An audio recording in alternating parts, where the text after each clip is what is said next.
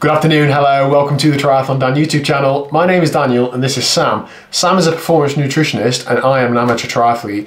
I've been working with Sam the last few months. You've been giving me a tailored diet plan. We've worked towards me losing some weight, trying to get fitter, doing all the things that you're probably trying to do as well if you're an athlete. So what we thought we'd do today is me glean as much informa uh, information out of Sam as possible, potentially uncork a like tin of worms and talk about proteins, more specifically dairy proteins versus non-dairy proteins, so maybe soy, pea, those sorts of things, the benefits and drawbacks of each. Now, I was previously a vegan, now I'm vegetarian, so I have now incorporated whey protein into my life. Now, this isn't particularly affiliated with any brand, this is just the stuff I've got in the house, yep. basically. So, come on then, Sam, cause a riot in the comment section down below. What is the difference between whey protein and non-dairy proteins? So, vegan's not strong enough. well, okay, so within any type of protein, there's a number of amino acids basically, and the amino acid blend is what sort of you know characterizes that protein source ultimately.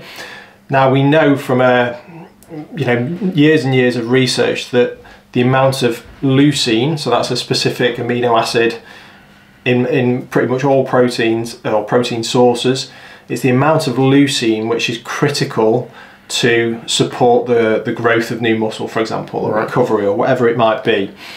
Now, based on that, we would always think, and rightly so, that dairy protein or whey protein is the optimal protein to use.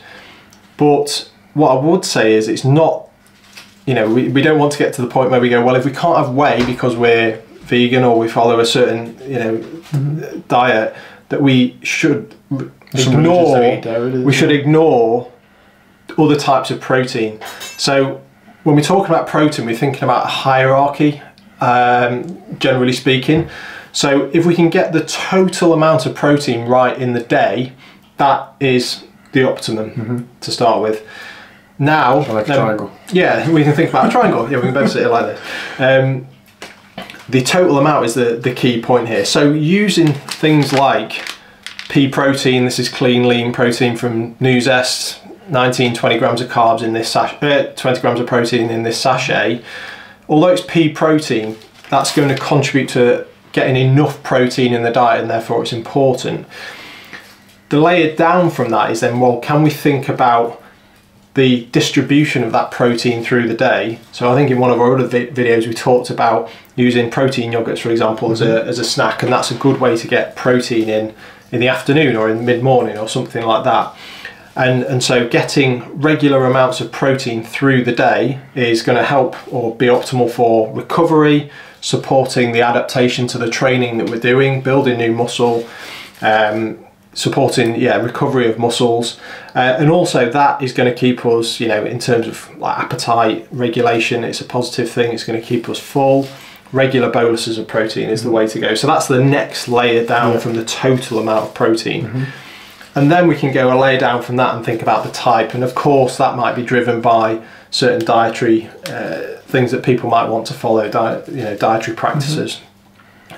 but what i would say is you shouldn't just think well, pea protein or vegan protein or whatever it is that we're using isn't, you know, sufficient. We now see that if you can get enough protein in your diet, it doesn't really matter too much where it comes from and the source that it comes from, mm -hmm. as long as we're getting that top level of amount of protein yeah. correct.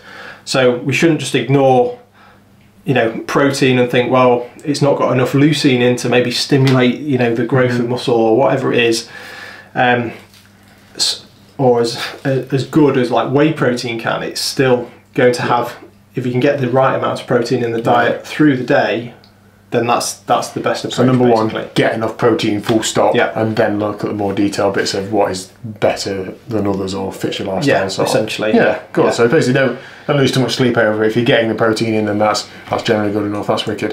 What about casein protein? Sometimes you say use that at night. Yeah, so casein protein is a really good option if uh, you know you you might want to top up your protein before bed if you've not got enough protein in during the day or you're particularly heavy athlete or bigger athlete and you might need another supplement to, mm -hmm. to achieve your optimal amount of protein intake for that day. Um, so casein is a slow release protein. So whey protein, for example, is released from the gut into the bloodstream fairly quick, mm-hmm. which is really great for recovery. And that's why you know we talk about whey protein immediately after exercise because it's going to support quick recovery. Casein protein is a lot more slow release. So if you have that maybe an hour before bed or something like that, you're getting um, a slow release of amino acids into the blood, and that will support recovery overnight. Um, and that's generally where it's being used um, as a yeah with athletes and things like uh, and other people to support you know recovery from sessions. It's great if you're doing a late night session. Many of us train in the evening, either you know before dinner or after dinner or something like that, mm-hmm. before bed. It's a great option to have at that point to support. Also, you're getting sufficient protein after that session to support recovery, and you can just you know extend that period overnight where you're recovering. Yeah, a lot of people will be training around life, won't they? They'll have yeah. things in the, on in the evening where they then train afterwards and so on. So yeah, that's, that's great. Thanks, Sam.